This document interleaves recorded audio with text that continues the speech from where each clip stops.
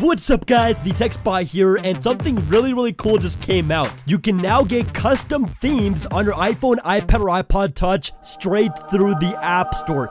This is absolutely incredible, and I'm super excited to show you guys exactly how to do this right now. Now before I start, be sure to slap a like on this video, it does help me out a ton, and this is absolutely amazing. Right now, credit to iDevice Help for finding this, and anyways, this is super simple to do, and again, all we got to do is open up the App Store, click on the link that'll be down below the description, it will bring right here to Mokolo themes and icons. Now, there are other apps you can download to get themes from the App Store, but this is the greatest one that we found so far, and it's really, really cool.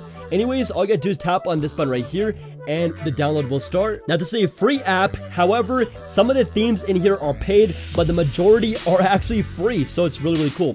And it's gonna open this up, and right off the bat, we got some nice themes. Look at this. We got Felicity, we got Stein, which is kind of like a darker theme. We got Ricotta, we got Lumi, we got iOS 6 Classic, that one looks really beautiful.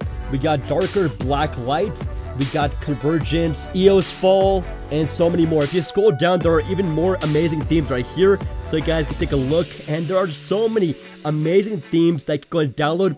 And again, this app is available directly inside the App Store. I can't believe Apple is finally allowing it. We've got the Big Sur icons right there, and the list goes on and on. Anyways, I found one over here that caught my eye, so it was right here, 1984 iMuseum.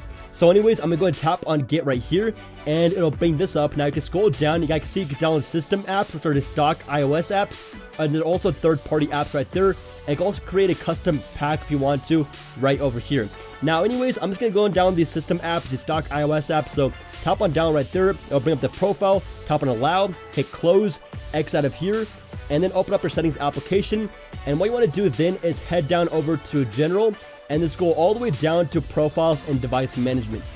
Here you will find the icon pack they downloaded, so 1984 system apps, there it is. It's to tap on it, and it is verified, so tap on install. Type in our passcode if you do have one, and just like that, hit install and hit done. And just like that, we are basically done. Look at all the app icons that it downloads right away. So it basically gets an entire pack and that's all you have to do. Now again, this is perfectly safe to install. Now if you're on iOS 14.3, you will get no shortcuts redirects. So iOS 14.3 is currently in beta, but again, as soon as it's released to the public, it can still update, and you will get no shortcut redirects, which is super, super cool. So you know how with the past method, you would open an app and first open up share shortcuts and then open up the app. With this, it would open up right away. So for example, let me go ahead and open up Safari, and boom, it opens up Safari just like that. Yeah, for some apps, it still has that shortcuts redirect, but that's only if you're not on iOS 14.3. Again, if you're on iOS 14.3, all these apps will open up without the shortcuts redirect, which is amazing, but I am not on iOS 14.3 on this device, which is why it still has shortcuts, but actually everything works really well, and you can delete the icons that you do not have,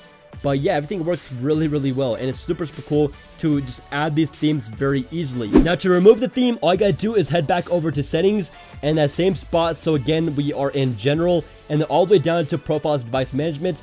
Again, just tap on the theme, and this time tap on remove profile, type in your passcode, and just like that, tap on remove, and just like that, now all the app icons have disappeared, and you can go back over here and install a different theme, which is really, really cool. Let's go and try out the iOS 6 theme to show you guys again how to do it. So let's go and download the icon pack. All I gotta do is hit allow, profile download, hit close, X out of here.